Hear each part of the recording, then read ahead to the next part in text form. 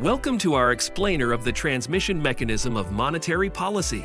Have you ever wondered how decisions about things like interest rates trickle down to impact our everyday lives? Stick around, and we'll unravel this mystery together.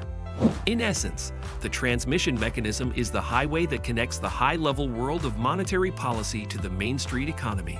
Imagine it this way. When a central bank adjusts interest rates, it's like tossing a stone into a calm pond. The ripples?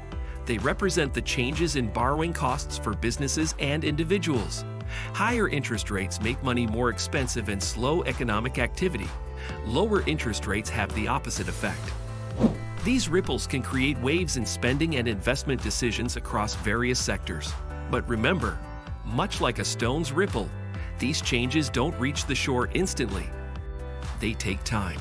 In the short term, changes in borrowing costs lead to immediate effects on how consumers behave and how businesses invest. Over the medium term, businesses and individuals put on their thinking caps, considering what this new interest rate climate means for their future plans. And in the long term, the full impact washes over the economy, influencing factors such as consumer spending, business investment, and even employment levels. Now, the speed and strength of these ripples can vary, influenced by the size of the stone. In our case, factors like the state of the economy and the responsiveness of market participants. Central banks, acting as our vigilant lifeguards, closely monitor these effects and make necessary adjustments to steer the economy towards calmer waters. So why is understanding this process important?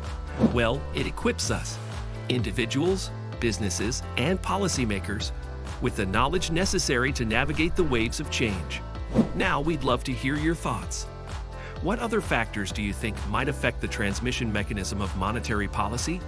Drop your answers in the comment section below. And don't forget to hit those like and subscribe buttons for more explainers like this.